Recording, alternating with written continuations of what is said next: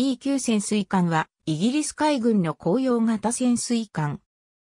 1913年から1916年にかけて55隻が建造され、第一次世界大戦で活躍した。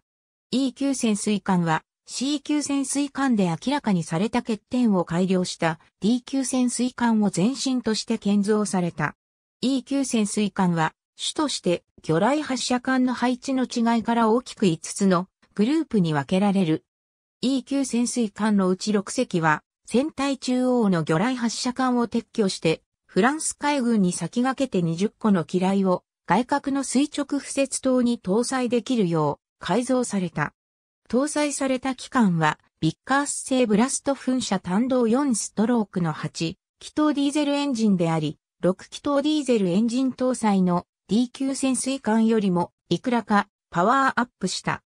E 級潜水艦の水上並走は多岐にわたり、初期の E 級潜水艦には放送日は全くないか、日本土砲一門を装備するかのどちらかであった。だが、甲板砲の欠如が通説に感じられた結果、後期の艦では12ポンド砲と2ポンド砲をそれぞれ1門ずつ搭載するようになり、E20 潜水艦では 152mm 榴弾砲が装備された。